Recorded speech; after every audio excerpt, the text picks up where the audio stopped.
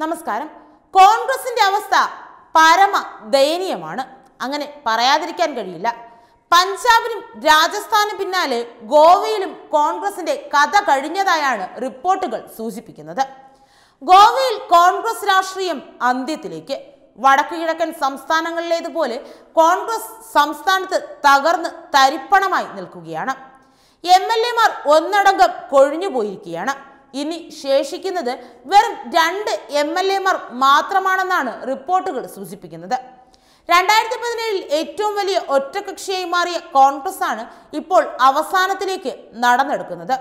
ഹൈക്കമാൻഡിന്റെ നയങ്ങളും ഇതിന് പ്രധാന കാരണമായിട്ടുണ്ടെന്നാണ് റിപ്പോർട്ടുകൾ വ്യക്തമാക്കുന്നത്. ദിഗ്വിജയ് സിംഗിനെ കഴിഞ്ഞ തവണ നിയമിച്ചത് അടക്കമുള്ള കാര്യങ്ങൾ രാഹുൽ ഗാന്ധിയുടെ പിഴവാണ്. ഇത്തവണ മമതാ ബാനർജിയുടെ തൃണമൂൽ ആണ് ഒന്നടങ്കം കോൺഗ്രസിനെ തകർക്കുന്നത്. ഗോവയിൽ പതിനേഴ് സീറ്റുമായി അഞ്ചു വർഷം മുമ്പ് കോൺഗ്രസ് ആയിരുന്നു ഏറ്റവും വലിയ ഒറ്റകക്ഷി. ബി ജെ പിക്ക് അവിടെ കിട്ടിയത് പതിമൂന്ന് സീറ്റായിരുന്നു. ഭൂരിപക്ഷത്തിന് ഇരുപത്തി ഒന്ന് സീറ്റ് വേണം. ബി ജെ പി ആണ് പക്ഷേ സംസ്ഥാനം ഭരിച്ചത്.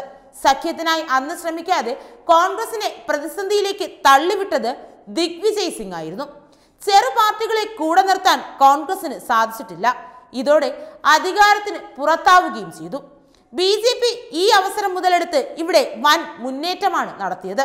എന്നാൽ കോൺഗ്രസ് തുടരെ തോൽവിയോടെ നാമാവശേഷമായി കൊണ്ടിരിക്കുകയാണെന്നാണ് പുതിയ റിപ്പോർട്ടുകൾ വ്യക്തമാക്കുന്നത്. എം എൽ എ റെജിനാൾഡോ ലോറൻസോയാണ് അവസാനമായി പാർട്ടിയിൽ നിന്നും രാജിവെച്ചത്. ലോറൻസോ കോൺഗ്രസ് സ്ഥാനാർത്ഥിയായി പ്രഖ്യാപിച്ചിരുന്നു. എന്നാൽ അതിനു മുൻപ് കോൺഗ്രസ് മുന്നേറ്റത്തിന് ശ്രമിച്ചിരുന്നു.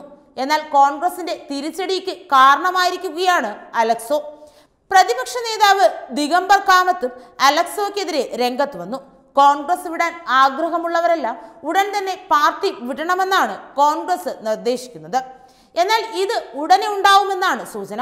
നേതാക്കൾ ഒരവസരം കിട്ടിയാൽ കോൺഗ്രസ് വിട്ട് മറ്റേതെങ്കിലും ഓപ്ഷനുകൾ പരിഗണിക്കാനാണ് സാധ്യതകൾ ഏറെയുള്ളത്. അലക്സോ എ എ പിയിലേക്ക് പോകാൻ ശ്രമിച്ചിരുന്നുവെന്നാണ് കോൺഗ്രസ് നേതൃത്വം ഇപ്പോൾ പറയുന്നത്. ബി ജെ പിയുമായി ചർച്ച നടത്തിയെന്നും സൂചനകളുണ്ട്. പാർട്ടി വിരുദ്ധ പ്രവർത്തനം വരെ നടത്തിയിട്ടും നേതാക്കൾ അതെല്ലാം ക്ഷമിച്ച് അലക്സോയ്ക്ക് വർക്കിംഗ് പ്രസിഡന്റ് പദവി വരെ നൽകിയിരുന്നു. എന്നാൽ അദ്ദേഹം ചതിച്ചുവെന്നാണ് ദിഗംബർ കാമത്ത് പറയുന്നത്.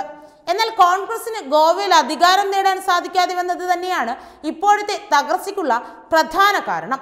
അതിനുള്ള സാധ്യത മുന്നിലുണ്ടായിരുന്നിട്ടും ബി ജെ പിക്ക് അധികാരത്തിൽ വരാനുള്ള അവസരം ഉണ്ടാക്കി കൊടുക്കുകയായിരുന്നു ചെയ്തതെന്നും ആക്ഷേപങ്ങളുണ്ട്. എന്നാൽ ഹൈക്കമാൻഡിന്റെ ആവശ്യമില്ലായ്മ അധികാരം കൈവിടുന്നതിന് പ്രധാന കാരണമായി മാറി. അതേസമയം കോൺഗ്രസിന് അഞ്ചു വർഷം മുമ്പ് സ്വതന്ത്ര എം എൽ എ പിന്തുണ പ്രഖ്യാപിച്ചിരുന്നു. വെറും രണ്ട് എം എൽ എമാരുടെ പിന്തുണ നേടിയെടുക്കാൻ പോലും കോൺഗ്രസിന് സാധിച്ചില്ല.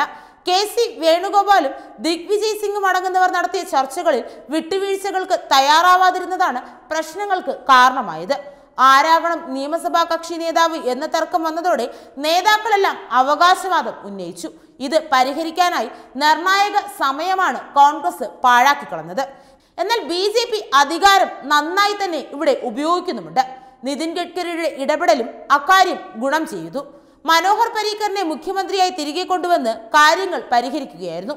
കേന്ദ്ര നേതൃത്വത്തിന് കോൺഗ്രസിനെ അവസരത്തിനൊത്തുയർന്ന് അധികാരത്തിലെത്തിക്കാൻ സാധിച്ചില്ല. ഇതാണ് ഇപ്പോഴത്തെ തകർച്ചയ്ക്കുള്ള പ്രധാന കാരണമായി ചൂണ്ടിക്കാട്ടുന്നത്.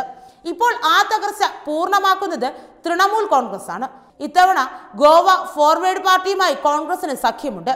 എൻ സി പിയും ശിവസേനയും കോൺഗ്രസിനൊപ്പം ഉണ്ടാകും നേരത്തെ തന്നെ സ്ഥാനാർത്ഥി പട്ടികയിൽ എട്ട് പേരെ പ്രഖ്യാപിച്ച് ടി എം സിയും എ എ പിയും കോൺഗ്രസ് ഞെട്ടിച്ചിരിക്കുകയാണ്. മമതയെ നേരിടാൻ പ്രിയങ്കയും ചുമതലപ്പെടുത്തിയിട്ടുണ്ട്. എന്നാൽ തിരിച്ചു വരിക കോൺഗ്രസിന് ദുഷ്കരമായ ഒരു കാര്യമാണെന്നതാണ് ഏറ്റവും പ്രധാനപ്പെട്ട കാര്യം. Web desk news.